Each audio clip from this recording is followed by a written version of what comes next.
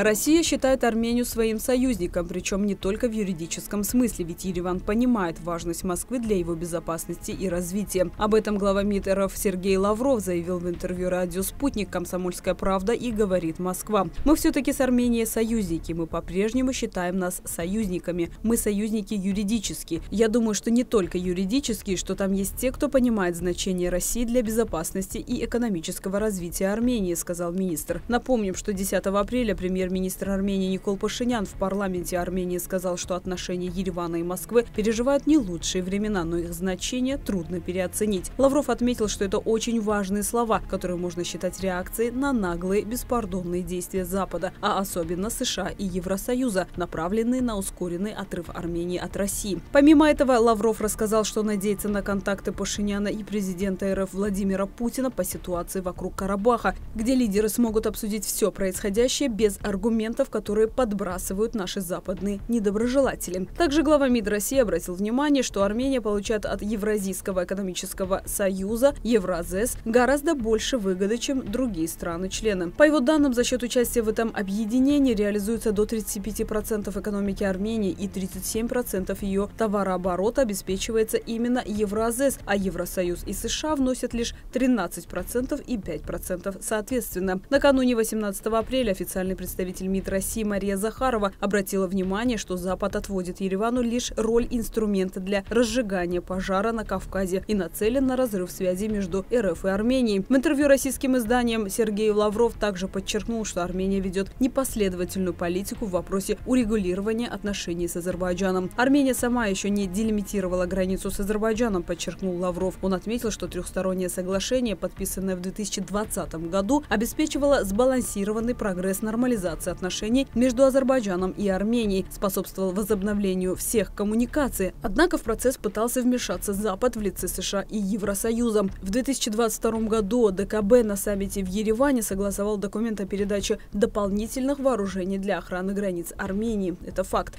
Все министры, включая армянского, завизировали это, а на утро, когда Пашинян открывал саммит, он сказал, что консенсуса не получилось, сказал Лавров. Зато, по словам Лаврова, этот консенсус случился в армянском обществе по миссии Евросоюза, которую обещали на два месяца, а сейчас она бессрочная. Там уже канадцы, туда же хотят другие члены НАТО. Это уже не евросоюзовская миссия, это уже будет миссия НАТО, отметил Лавров. В любом случае, по его словам, когда был подписан документ о признании Карабаха частью Азербайджана, признание Алматинской декларации декларации в нем ничего не было сказано о необходимости обеспечения особых прав армянского национального меньшинства в Азербайджане. Поэтому, по словам Лаврова, неправильно говорить о том, что армяне ушли оттуда из-за бездействия российских миротворцев. Он выразил надежду, что будут контакты между руководителями Армении и РФ, где все эти вопросы можно будет обсудить без аргументов, подбрасываемых западными недоброжелателями. Лавров отметил, что Ереван несправедливо относится к участию России в процессе урегулирования отношений между Азербайджаном и Арменией Армении, а также к роли миротворческого корпуса, который располагался в Карабахе. Напомним, что 17 апреля начался вывод российских миротворцев из Карабахского экономического района Азербайджана.